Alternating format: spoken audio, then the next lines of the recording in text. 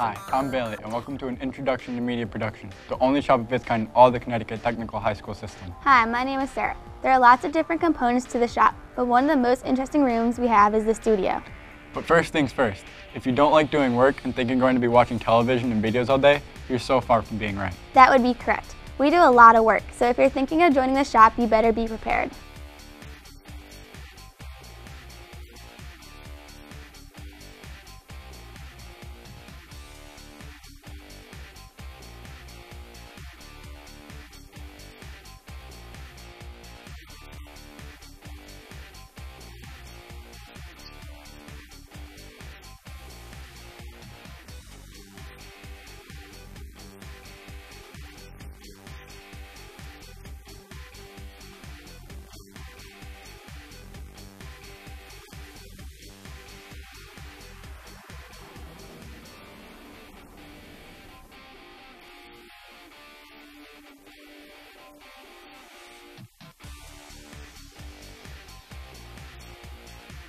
But on to other things, like jobs. There are many different kinds of jobs in the media production business. So if you think it's only acting and directing, you're wrong again.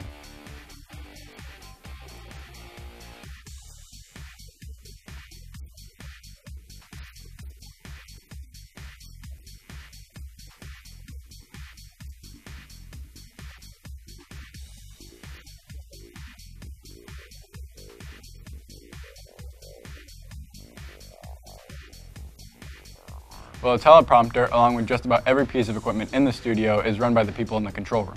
What a teleprompter does, it makes sure the words on the camera are moving at the same speed my co-host and I are comfortable with. That's right. The person who is cutting for me to my co-host is called the technical director. The technical director's job is to communicate with the director to make sure that the right camera is on the air at the right time using a device called the video switcher. The director's job is to communicate with everyone on set and make sure the production goes smoothly. One of the unsung heroes is the audio director Audio One. That person's job is to make sure everybody's voice isn't too low or too high so you can hear their voices perfect. They do this by using the audio mixer or soundboard.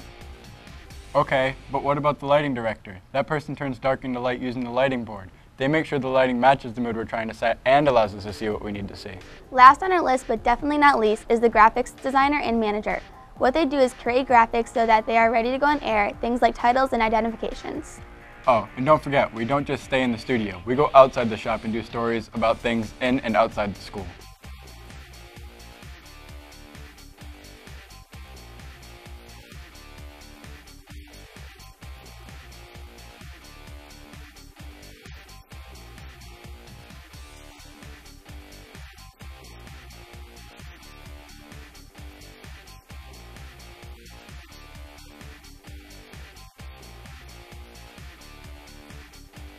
What we do after we produce a project is bring it to our computers and edit the footage together.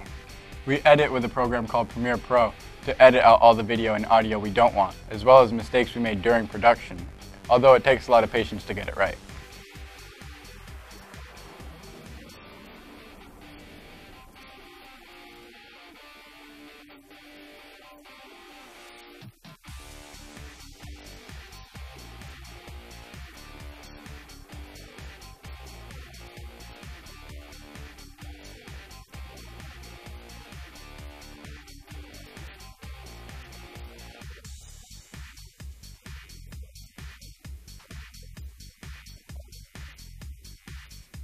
Also, another thing you need to know is that when we're in theory, there's no fooling around and you need to pay attention because one, you can get into trouble, and two, you won't learn anything.